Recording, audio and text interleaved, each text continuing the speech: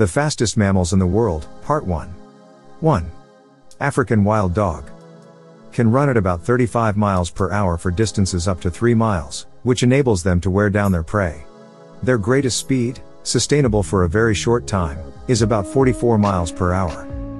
2. Jackrabbit. Relying on its powerful hind legs to escape from predators, the jackrabbit runs in a series of leaping bounds, and can reach speeds of 45 miles per hour. 3. Greyhound. Bred for racing and hare coursing, greyhounds can sprint at 46 miles per hour. They are also agile, able to jink to follow a prey animal's attempts to outmaneuver them. 4. Lion. Their top speed of 50 miles per hour can be sustained for only a few strides, but they can maintain a burst of 35 miles per hour for longer.